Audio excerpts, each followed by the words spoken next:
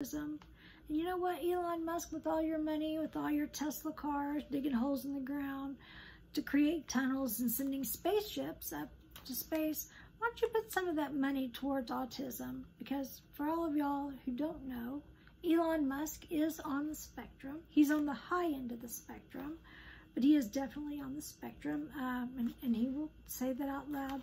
But my biggest question is, why with all that money that you have, with all that power you have, have you not given any of that money to research to help figure out what the heck is causing this autism? Anyway, that's my shout out to Elon Musk. Hey, Elon, I hope you're listening.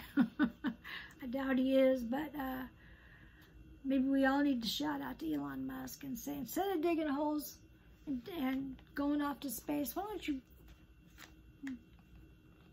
figure out what's going on right here on planet Earth? And then, and then, and then we can go off to space and explore. Anyway, that's my rant for the night. My name is Lori. This is my channel, Unbox Life for Lori, where we talk about everything life. And tonight's topic was autism. Uh, if you've watched this long, please hit the like button and subscribe. I am a new YouTuber and I'm learning a little bit as I go along and I'm trying to figure out my lighting and my backdrop and I know my sound isn't very good so I'm trying to figure out ways to make the sound better. Uh, so I'm just trying to learn along the way and um, yeah. And I like to end every vlog by saying this.